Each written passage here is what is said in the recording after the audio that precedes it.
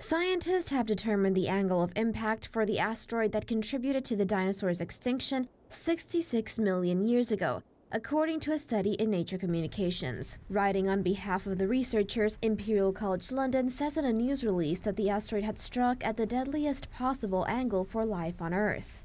Using geological data from the Chicxulub crater in Mexico in a computer model, scientists calculated the space rock's angle of attack at 60 degrees.